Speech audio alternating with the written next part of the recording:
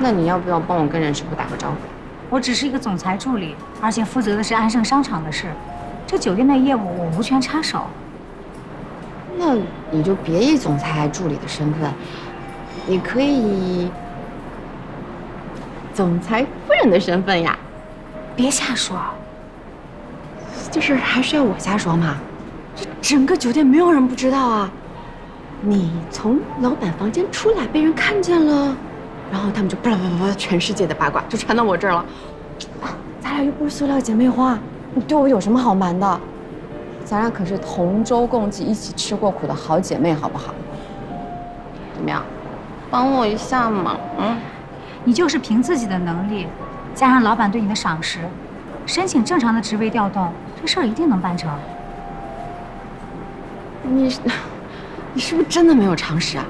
采购部哎，多少人盯着的肥差，而且他们每个人都有后台。这事儿如果你不帮我撑腰的话，我根本不可能进那个岗位。哎呀，行了，我知道你也很为难。这事儿吧，我也可以请我男朋友帮帮忙。但是其实我不想让他在心里觉得我什么都得靠他。那以后要是真过上日子了，那我在他心里一点地位都没有了。干什么？别这样看着我。你自己知道不能被男朋友看低，那我呢？那我跟你能比吗？这事儿你都不用跟你男朋友开口，你只要悄悄的跟人事部打个招呼，那人家知道你总裁夫人的身份，不就屁颠儿屁颠儿把这所有的事儿都给干了？谁会错过一个拍马屁的好机会？而且我想过，这事儿绝对不会让你在你男朋友面前抬不起头来。不管他会不会知道，我都不能利用这层关系。那你就是不帮忙呗？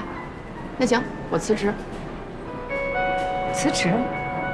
那我怎么办？我总得抓一头吧。你看我工作不称心，朋友不帮忙，那这不是在逼着我只能靠男人了吗？别说气话了，这男人能靠多久啊？那你还不是靠着王娟当上了总裁助理？你现在不是也很好吗？我没有。你敢说他不是因为喜欢你才让你在他身边工作的？别瞎说，反正不是这样的。那是哪样的？幸亏有你吧。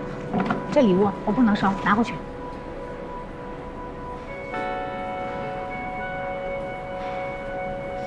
不收就不收，我告诉你，我送你这个跟这个求你办事没有任何关系。不把我当朋友，拉倒，当我什么都没说。再见。